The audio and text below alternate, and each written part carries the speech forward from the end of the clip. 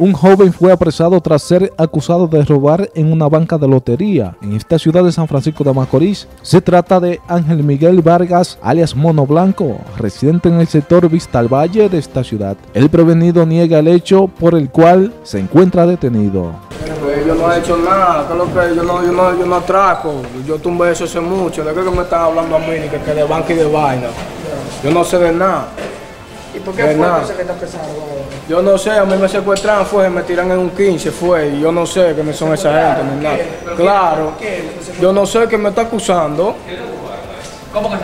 A mí no me ocuparon nada, a mí no me ocupan nada. ¿Qué tú esperas entonces? Yo no sé, porque es que me tienen aquí, en mi en mi edad yo no sé.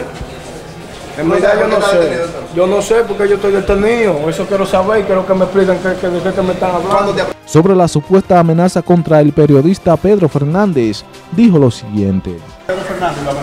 No, eso es embuste. Yo nunca he llamado a ese hombre, yo no tengo problema con Pedro. Eso es embuste.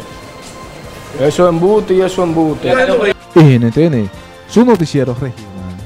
Robinson Polanco.